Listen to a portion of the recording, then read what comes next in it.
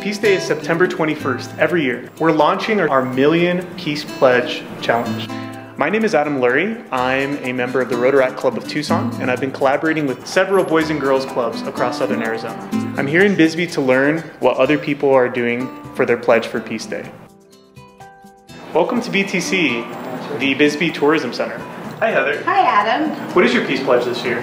We will be hosting the Bisbee Street Cleanup 5 to 7 on Tuesday, September 17th. Join us here at 8 Naco Road for supplies, clean water, and snacks. I pledge to have a recycling bin appear in the Bisbee Seance Room. Ta-da!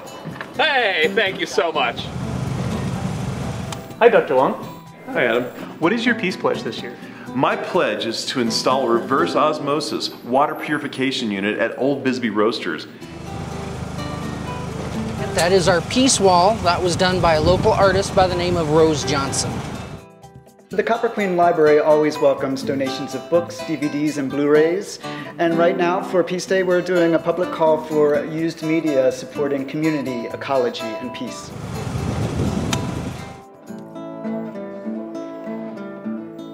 Hi Matt.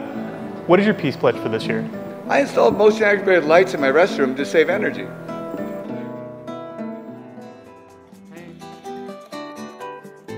Hi, I'm Ray Barati, and I'm pledging to plant three trees in Cochise County.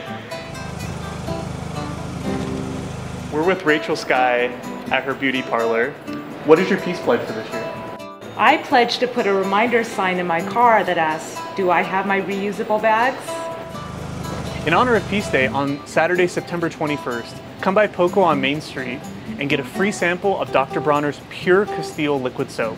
You can try the most ecologically friendly soap in the world for free. Thank you for watching. Hope you got ideas for your own Peace Pledge.